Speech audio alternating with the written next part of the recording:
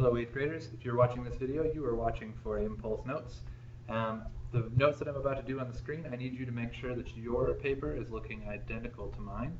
You're going to need these notes in order to complete the practice uh, questions here in just a little bit. So here we go. The first thing that we're going to start with is actually something that you already know pretty well, and that's uh, momentum. So we're going to start off with the equation for momentum before we get into what impulse is, and that's something we know and love well already. Momentum is mass times velocity. And this is something that we have practiced a whole bunch, and if you noticed, the reason why we're starting with momentum is the, the ELR that we're dealing with is to identify and calculate impulse, and then your job is to relate it to momentum. So momentum and impulse are actually really closely related, and that's why we start with it. Um, start with momentum. So, number two, what is impulse? Impulse is how we talk about a change in momentum.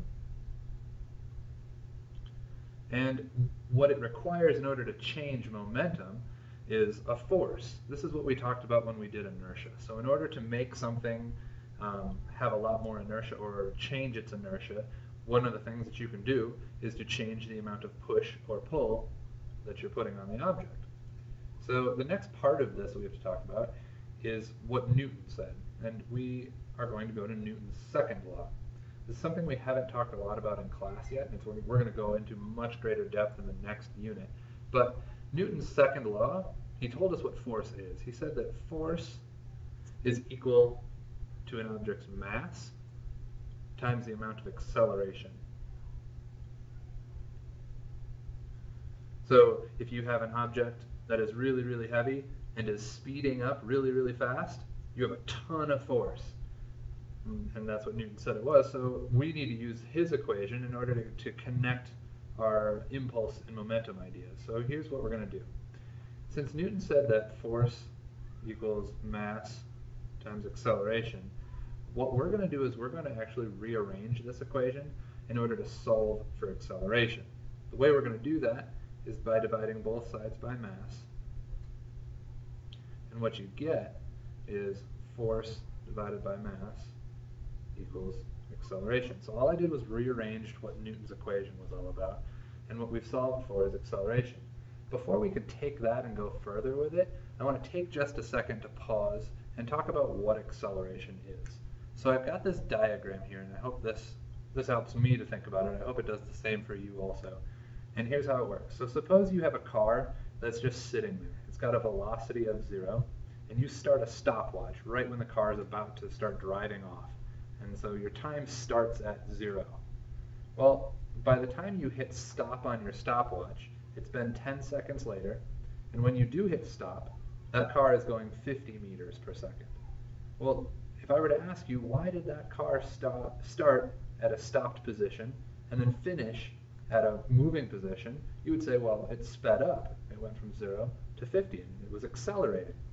Well, mathematically, the way that we would talk about that is we would say that the acceleration is the change in the velocity. So in physics, we talk about the change in velocity with a, triangle.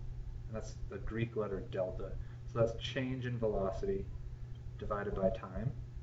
And we have those that information. So if I rewrite that with numbers, the change in velocity, they went from 0 to 50, so that's 50 meters per second. And the amount of time, it took 10 seconds. So 50 divided by 10, which you get is 5. And then the units for this aren't super important now. Like I said, we're going to get into this later, but 5 meters per second squared. Another way to think about that is this car increased its speed by 5 meters per second every single second. So in the first second, he increased his speed up 5 miles per hour, or miles per meters per second rather. And then in the next one, he went 5 more meters per second, so he's up to 10, all the way up for 10 whole seconds until he made it to his top speed, or velocity, of 50 meters per second. The part, the reason why I'm showing you this is because we want this part right here. And here's why. Actually, I'm going to finish out these notes. So it says acceleration is the change in velocity divided by the time that it took for that change to happen. So now, here's why we need that information. Scoot my page up just a little bit. What I'm going to do is I'm going to rewrite or put down um, Newton's rewritten equation. What it was is he said that acceleration is the same as force divided by mass. So I'm going to write down force divided by mass. And he said that that equals acceleration. Well, we just solved for acceleration in this last part right here. Acceleration is the same as change in velocity over time. So I'm going to write that instead of A for acceleration. We'll say change in velocity divided by time. The reason why I've done this is because we're going to use it and I'm going to show you how the equation that you already know for momentum is buried inside of this. We just have to pull it out. And here's how. In math, you can do this thing called cross multiplying.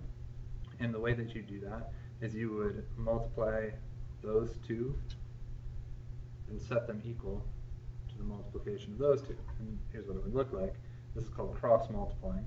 What you're going to get is f times t, and that's going to be equal to the other two, m times delta v. Now here's why we did that. Check it out. m times the change in velocity is what we already know. That's momentum. The mass times the velocity. When we did the f times the t, that is impulse. So we're going to unpack this just a little bit, because if you're like me, that's a lot of math, and that's a lot to think about. And so I need to put this into words. What I've done for you here in the paper is I have rewritten this equation, nice big and bold and in clean print. We're going to use that a whole bunch, but it helps me a lot to think about this in terms of words also. So here's what I want you to do. I'm going to rewrite this in words. I want you to do the same, and we're going to do some highlighting. So basically what this equation is saying is how hard and for how long was a force pushing? Or pulling. In this case, we're just going to think about pushing. And so here's what I'm going to highlight. The part about like the how hard was it pushing, underline that in blue, that's this part right here. That's the force. And then for how long was it pushing, that's the time factor.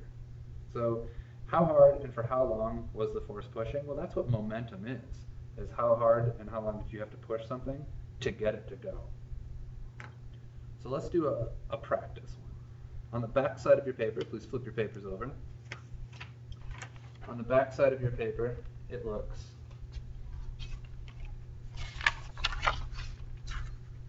like this. You've got example one. It says, during a car crash, a 1,000 kilogram car hit a cement wall at 14 meters per second, and it came to a stop in a very short time, 0.08 seconds. So the question is asking us, how much force did the wall have to put on the car? This is the real question that you want to answer when you want to find out about if people survived an accident or not, because it's the amount of force that's going to kill somebody. So the first thing that we're going to do is we need to keep track of the stuff that's important to us. And we're going to start with, to start with the mass right here. So 1,000 kilograms, that's important information. Said it hit the cement wall at 14 meters per second, that's also important information. Came to a stop, we need to know that. And it also happened in 0.08 seconds. And then finally, it's asking us to figure out what was the force. That's what we're hopefully going to eventually end our, our question with. So let's get started. First thing I'm going to do is I'm going to write down all of our givens.